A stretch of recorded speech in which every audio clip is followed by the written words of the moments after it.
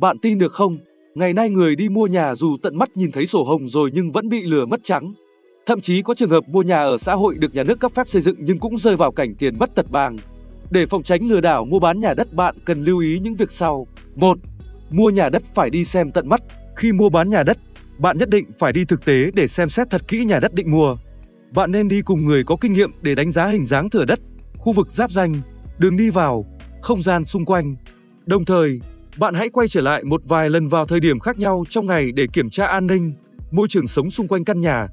Đặc biệt, bạn nên hỏi thăm hàng xóm, tổ trưởng tổ dân phố về chủ nhà, xem xem họ có đang ngộp nợ, cảnh giác căn nhà đã bị thế chấp hay nhà đất có vướng mắc tranh chấp với người khác.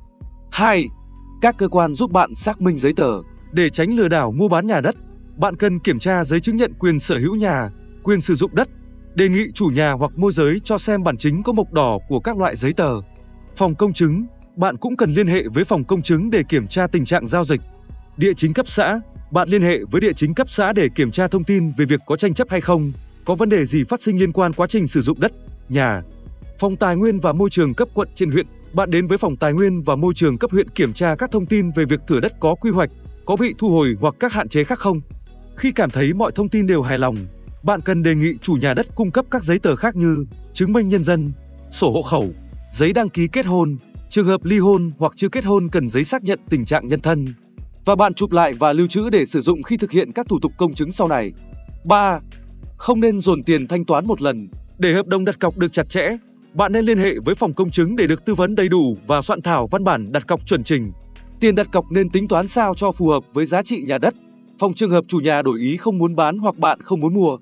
Bên cạnh đó, bạn không nên dồn tiền thanh toán 100% trong một lần duy nhất mà nên chia số tiền thanh toán thành nhiều đợt như tiền đặt cọc, thanh toán lần một khi ký hợp đồng, thanh toán đợt cuối khi sang tên xong. 4.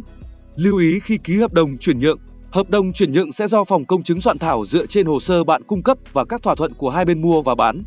Khi ký hợp đồng và bạn giao tiền thì bên bán giao bản chính giấy chứng nhận quyền sử dụng đất, các giấy tờ tùy thân khác mỗi loại 3 bản chứng thực.